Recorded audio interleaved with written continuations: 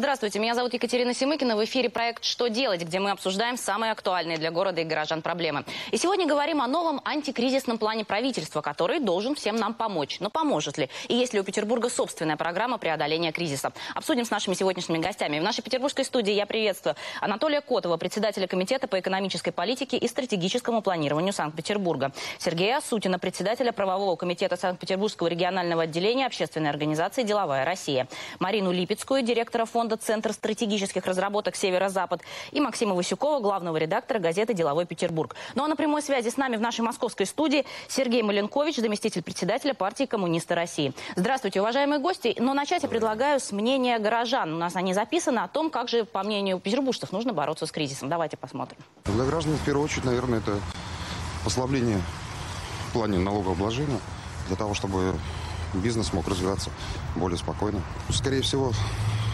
не менять условия пенсионной реформы, которые сейчас проводят, чтобы условия для тех пенсионеров, которые уже заработали пенсию, чтобы они оставались на том же уровне, на котором государство им гарантировало.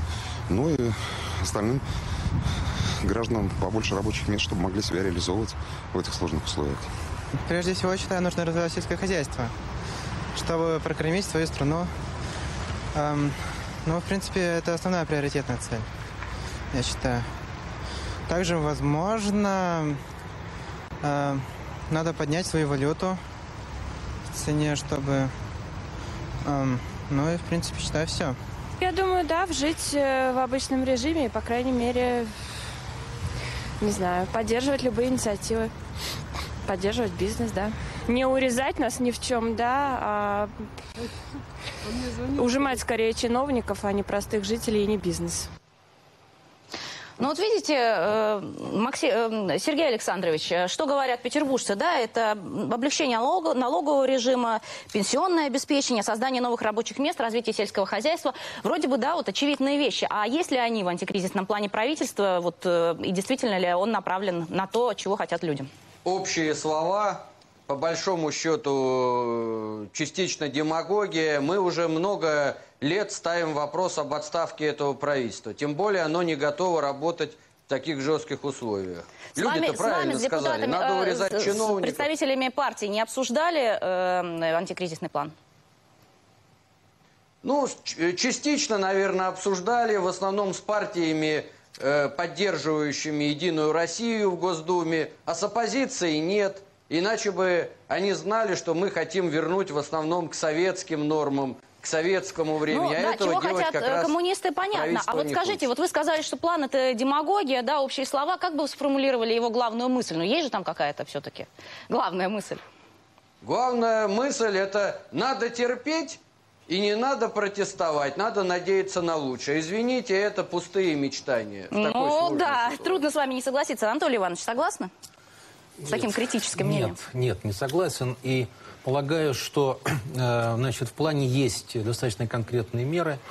И полагаю, что сам план, который разработан на уровне э, Российской Федерации, он в сложившихся условиях достаточно адекватен. Но и тот план, но должны еще разработать регионы. И распоряжение правительства, которое вводит в действие эти антикризисные меры, так их назовем, сегодня предписывает... Основные меры можете назвать? Основные меры связаны меры? прежде всего а, в, в этом плане связаны с обеспечением экономического роста, и это правильно. Второе направление связано с обеспечением э, социальной стабильности. И третье направление связано с поддержкой отдельных отраслей экономики. Вы считаете, и... что вот в таких условиях денег хватит на все и рост возможен? То есть не только Я полагаю, что мы должны обеспечить на первом этапе стабильность развития нашей экономики и э, э компенсировать э, различными и прежде всего бюджетно-финансовыми и кредитно, кредитными мерами вот такую сегодняшнюю нестабильность. И я полагаю, что большую часть мер на уровне Банка России, на уровне Министерства финансов сегодня закладывается с тем, чтобы не допустить э, э, падения Ну э, да, у вас рубля. такая да, оптимистичная Она довольно-таки, да, оптимистична, позиция? но основывается, прежде всего, понятно, на нашей экономике. Мы должны понимать, что в течение многих лет мы строили все-таки, мы это понимаем, мы строили Вот позже экономику. поговорим обязательно об экономике Да. Петербурга. Сейчас просто Потому пока что вот нужно мы, понимать причины э, и что сделано, и почему мы так сделали. А мы много сделали за этот период. Я Сергей могу- Владимирович, э, вот смотрите, вроде как, да, действительно, там направления какие-то заданы, да, и на развитие, и на то, чтобы компенсировать э, потери самому слабому населению. Но вот, например, вот э, депутат Госдумы Валерий Зубов, да, так достаточно жестко критикует этот план, говоря, в частности, о том, что невозможно сделать одновременно и то, и другое в кризисных условиях, что, по большому счету, триллионы рублей, которые сейчас предлагается там потратить на поддержку экономики, это просто дотации, направленные в, в разной степени на удержание устаревшей технологической крепости, что государство пытается социальные обязательства соблюсти, а не новые технологические цели. Вы знаете, э, для государства э, есть, наверное, несколько основных направлений деятельности. Первое из них – это обеспечение стабильности социального и социальной Может, надо честно защищенности сказать, что сейчас невозможно все вот это Вот насчет честно делать. сказать, я бы начал, наверное, немножко чуть-чуть с другого. 30 числа обсуждался э, план в Госдуме. Прошел целый месяц Нового года. С моей точки зрения, мы уже опаздываем. Мы тянем. В каждом предприятии состоя- э, сейчас люди думают о своем плане действия. И я вас уверяю, нет ни одного предприятия, где разумные сидят бизнесмены, которые уже не разработали и не начали притворять эти планы в жизнь. Главное, чтобы это был не план по сокращению, чего мы все Э, боимся. Вы знаете, планы по сокращению тоже иногда полезные. Да? Да. Оптимизация? Оптимизация тоже нужна. Но а, меня беспокоит первое – медлительность правительства России. О чем это сигнализирует, на ваш А, взгляд? Значит, не готовы.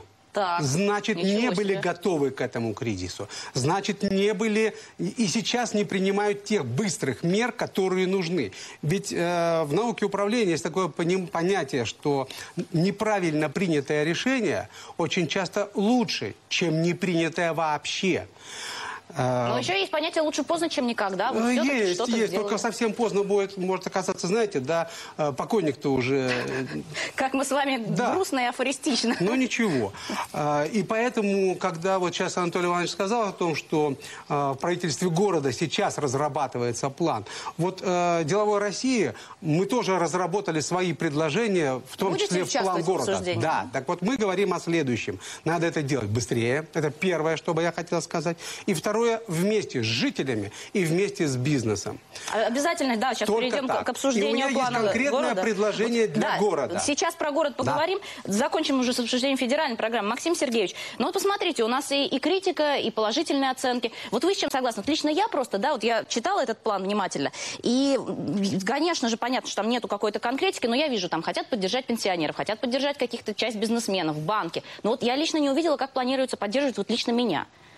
Вы увидели, как вот вас поддержат в этом плане? Да, действительно, я это вижу, потому что план это приятно, он нацелен прежде всего на поддержку тех, кто создает рабочие места и платит налоги. То есть население, жители России поддерживаются за счет того, что компании, в которых они работают, государственные или частные, получат возможность удержаться на плаву, сохранить рабочие места, сохранить выручку и, собственно, продолжить удерживать благосостояние своих сотрудников на прежнем уровне. И это очень Ну а приятно. как же правительство при этом одновременно говорит о том, что будет безработица, готовьтесь? А, видите, безработица это не всегда плохо. Многие экономисты Ну, говорят о том, что только не для безработных людей. что катастрофически низкая безработица и отсутствие конкуренции на рынке труда, оно пагубно сказывается на состоянии нашей На экономики, оно эффективности, да? снижает Причем, эффективность А труда. это как раз сейчас и есть. Ведь э, уровень безработицы с последнего кризиса у нас уменьшился. Вроде бы хорошо. А с другой стороны, как вы говорите, не всегда хорошо. Да, мы знаем, что государство часто поддерживает неэффективные предприятия, которые производят никому не нужную продукцию, поддерживает их за счет Так госзакупок. это эти предприятия, я так понимаю, продолжают поддерживать. Да, к сожалению, Государственные предприятия не самые эффективные, мы об этом знаем, а в плане вон, вон сколько выделяется. Ну, вы представляете, что скажет коммунистическая партия, если государство перестанет поддерживать что эти коммунистическая а, что, а что скажет коммунистическая партия, Вот Сергей дайте, Александрович? да, дайте, э, если возможно, пару слов. Да-да. Э, Вы понимаете, неприятно слышать такие вещи о том, что безработица – это допустимо. А не самое главное, что должны сделать, это исключить в условиях кризиса массовую безработицу. Есть советский опыт, есть опыт Рузвельта в США. Там не исходят из этого как из приоритета. А это значит что будет расти социальная напряженность. И она не позволит и другие меры этого Но плана если реализовать. коммунисты уже Как может ваш обращаются к эксперт опыту Рузвельта, то это действительно мы в серьезном находимся положении. Но на самом деле, если говорить о Санкт-Петербурге и о рынке труда, то сегодня у нас количество вакансий составляет около 100 тысяч. Это те, кто сегодня хотели бы прийти на работу, которые нужны работодателю. Это тот резерв, который, конечно, надо будет использовать. И мы менее всего сегодня заинтересованы, чтобы там был коллапс на рынке труда, и, естественно, для этого сделаем. Правительство уже провозгласило об индексации пенсии на 11,4%. Да, вот это, кстати, отличная новость. Она уже провозглашена, да? Марина Сергеевна, вы как считаете, вот за- закон- заканчивая разговор уже о федеральной программе, вот посмотрите, и критика вроде конструктивная, да, у нас прозвучала, но вот и положительная оценка. Вы скорее на чьей стороне? Ну, давайте я займу немного не такую взвешенную, да, нейтральную позицию. С одной стороны, а, хорошо, во-первых, что план есть, он принят и объявлен. То есть люди, и, и особенно бизнес-субъекты, получают некую определенность. То есть они видят, что правительство а, работает, по каким направлениям оно работает, и в чем можно поучаствовать, где можно получить будет поддержку. Если это и бизнес, особенно малый бизнес. То есть а там есть сектор совершенно получ- четкие конкретные меры, которые работают. Там есть а, объявлены А не да, направления. Ну, я бы сказала, что это вполне конкретные решения и направления, особенно по поддержке банковского сектора. Да, уже понятно. Ну да, там вот а, триллион что- рублей выделено. Да, Понятно, что система, образующая отрасль и область важную для всех, э, потому что в банковском кризисе не заинтересован ни один А вас не смущает? Вот субъект. меня очень смутило. Смотрите, банкам там э, триллион рублей, хотя вообще зачастую банки сами были виноваты в своих проблемах, да, потому что они кредитовали заведомо нерентабельные проекты. Ладно, бог с ним там. А оборонно-промышленным предприятиям помогать, все. А, допустим, вот на инновационные предприятия, да, развитие, о котором мы все говорим, всего 10 миллиардов. Почему такая разница? Давайте я немножко в логику какую-то восстановлю. С одной стороны, да, э, это определенности, этот план объявлен, он такой, какой он есть, да, мы имеем дело с готовым планом правительства. С другой стороны, а, понятно, что государство, работая с э, рынками, с областями, находящимися в разной ситуации, оценивает, ну, ту область, в которой наибольшая вероятность каких-то реструктуризаций или системных сдвижек, должна, а, должно прини- принимать свои а, меры да, для есть вы считаете, что скорее правильно выбраны эти ну, меры? Как сказать, я, я говорю, что у меня нейтральная позиция. То есть того, что- придраться вот так категорично ни к чему не они ведь набор этих мер известен. Они правильно выбраны. Ну, можно разные же выбрать меры. Нет, Выбрали? они правильно Я выбраны. Продолжу немножко. Да. Те отрасли, которые а, более-менее спокойно, нормально себя чувствуют, специально их поддерживать не нужно. Нужно чуть-чуть а, минимизировать последствия кризиса для них. Там, где могут быть существенные сбои, там, где а, последствия социальные, общеэкономические, такие как банковский сектор, имеют риски для всей стабильности, в том числе и макроэкономической, политической и так далее, конечно, меры должны быть в том числе и прямого а, воздействия. Наверное, самая вот острая фаза, да, которую мы сейчас проходим, а, скорее всего, не допускает каких-то радикальных реформ и новых действий. Она должна быть направлена максимально на с- стабилизацию временную, а потом уже запуск и подготовка нового цикла Ну, вот о том, что нам ждать в ближайшее время, может поговорим. быть, тогда и надо было бы сделать так. Вот этот на такой период план, да, а дальше нужно, может быть, вкладывать деньги в те отрасли, Э, да, давайте которые дадут наибольшее движение вперед. Ведь что мы говорим? Давайте Вы вот сказали о про том, дороги. действительно, о движении А? вперед, обо всем этом поговорим Да. сразу после рекламы. Возвращаемся в студию проекта «Что делать?». Продолжаем обсуждать антикризисный план. Ну, здесь прозвучала уже в этой студии критика сегодня, и положительные оценки. А, Сергей Владимирович, вот э, говоря о Петербурге, вы сказали, что у вашей организации есть конкретные предложения, которые вот сейчас у нас представитель власти. Выскажите. А вы знаете, мы уже и передали э, как раз Анатолию Ивановичу в их комитет, потому что они занимаются подготовкой, в том числе они и его комитет, э, занимается подготовкой плана города. Да? Мы говорим о нескольких направлениях. Первое, то, о чем я уже сказал, это все-таки поддержка, может быть, наукоемких, но инновационных Ну вот всего 10 предприятий. миллиардов на федеральном уровне. А мы говорим про город сейчас. А в городе Давайте в больше? городе подумаем. Давайте, может быть, немножко сделаем по-другому. У нас нет сельского хозяйства. Что нам поддерживать, да? Давайте поддерживать промышленность, Согласны, которая двигается Виктор вперед. Еще одно направление – строительство.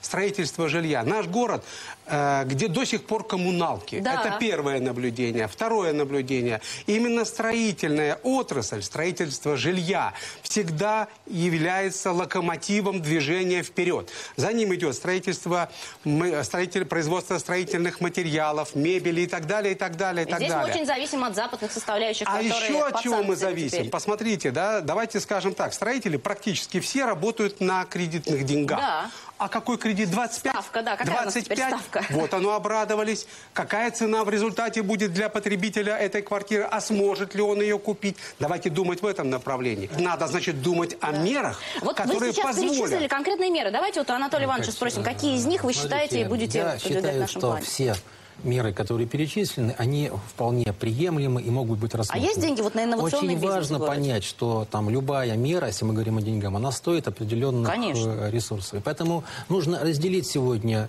э, первоочередные задачи. Э, Санкт-Петербург и правительство города, мы прекрасно понимали ту экономическую ситуацию, в которой находимся. И если вы обратили внимание, то значительную часть законов, касающихся поддержки малого бизнеса, инвестиций, мы приняли в прошлом году. В кризисе всегда нужно думать и о будущем. Мне иногда Хотелось говорят, бы. а вот там кто-то не работает. Мы работаем сегодня, и также в наша стратегия, пускай она изменится по каким-то срокам, показателям, но мы видим курс, и мы набор мероприятий по этой стратегии готовим отдельно. Максим Сергеевич, а вот посмотрите, сколько мы говорим о поддержке действительно бизнеса в Петербурге. В этом смысле, наверное, да, мы впереди там страны во многом, да. Но, тем не менее, э, как вы считаете, вот сейчас все равно время тяжелое. Есть у бизнеса какие-то скрытые ресурсы? И сможет ли бизнес, на который все уповают, создать нам те самые рабочие места, да, поддержать в кризис все остальное население? Или все-таки один бизнес это не потянет?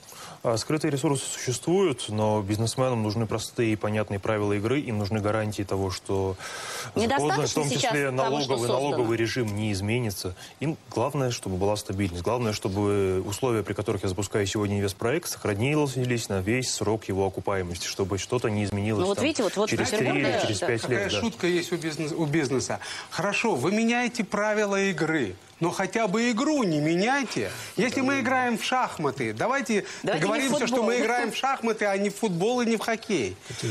Поэтому вот с этой точки зрения, э, если мы изменяем налогообложение, то давайте сразу говорим, мы меняем вот эти новые ставки, принимаем на такой-то период или навсегда. Тогда бизнесмен, планируя, Сейчас он в может Петербурге думать. у нас с этим ситуация правильная? Хорошая. Хорошая, да? Ну, Да. отлично. А в Ну, Москве... Смотрите, мы отказались, лучше, да. мы отказались Может сегодня от введения э, там, налога на... На недвижимость. на не- на- на- А вы на- будете снижать вот налог, который могут теперь снижать Торговый регионы, сбор. на э, снижение э, Упрощен- налогов на, да, да, да. по Смотрите, там указана другая схема и другая налогообложение. У нас э, значительная часть при- предприятий, они уже получили льгу- льготу А, то есть нам по, уже снижать по другому объекту налогообложения.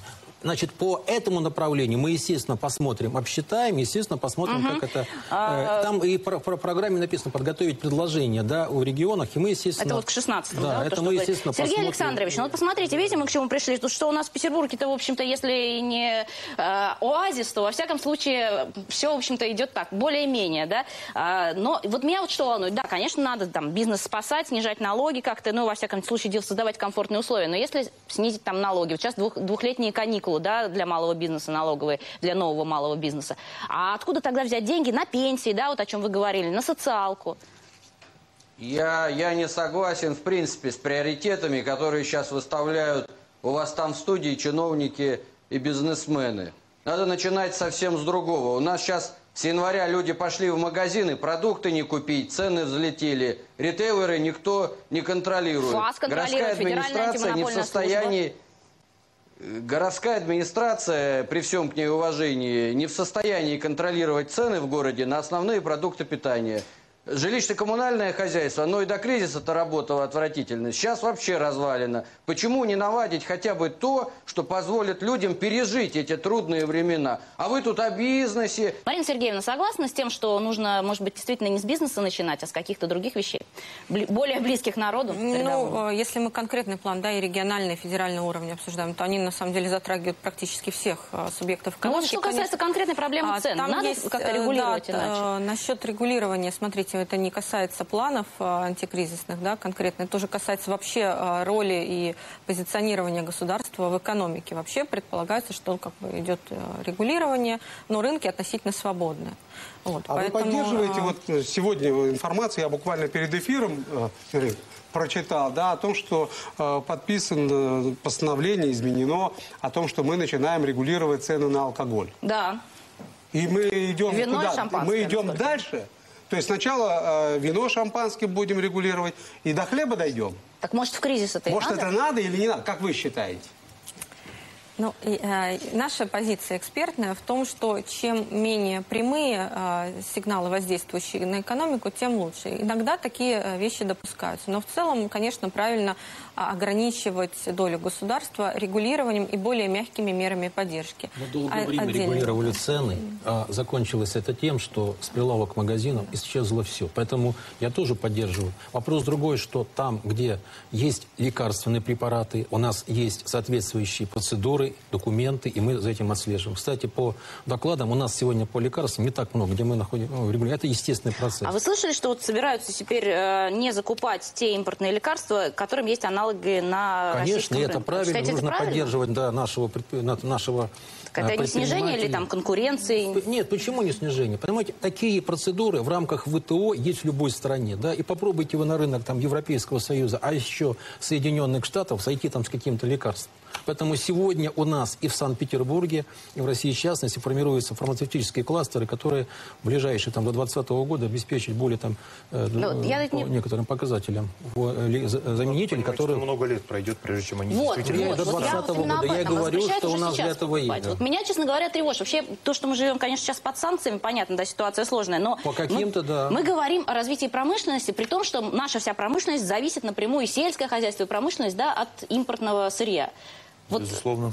санкции там вроде на год, а развивать это все десятилетиями. Вот я не понимаю, не, не случится ли так, что у нас все пропадет, цены на все вырастут, и мы останемся и без промышленности, и без инноваций? Смотрите, Ну, я- отсюда одна из строчек. Вот смотрите, я думаю, вот смотрите, такой вопрос очень важный. Смотрите, э, вот если мы говорим о плохих сторонах э, значит, э, кризиса или о плохих сторонах вот, падения рубля, мы должны понимать, что есть, вне всякого сомнения, что-то положительное.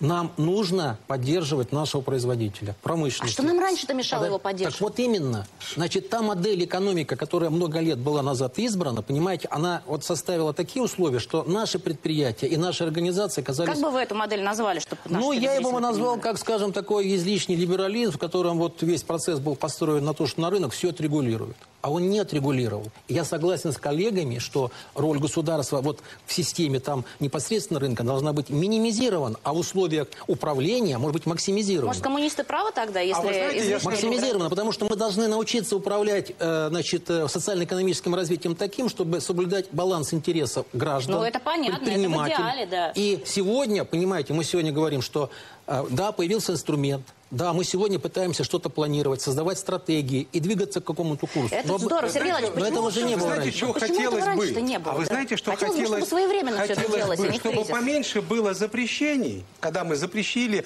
одно, запретили второе, Так, а вот запретили как же излишний либерализм? А сейчас скажу следующее. Это, это не мое мнение про излишний ли- либерализм. Вы считаете нормальным либерализм? Нет, я говорю о другом. Я говорю о том, как, э, с моей точки зрения, государство должно влиять на экономику.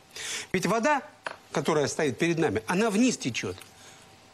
Ну, по-другому не бывает, если только насос не поставить. А деньги идут туда, где им выгоднее.